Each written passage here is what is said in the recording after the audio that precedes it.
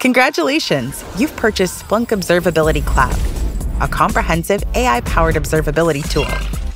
Very smart move. However, with such a powerful tool, it can be hard to know where to start.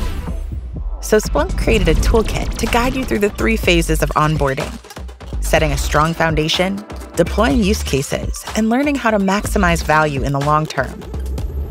Let's dig into phase one. First, get your data into Splunk. We have many supported integrations with popular cloud services, which you can set up through the UI. Then collect infrastructure data by deploying the Splunk Open Telemetry Collector.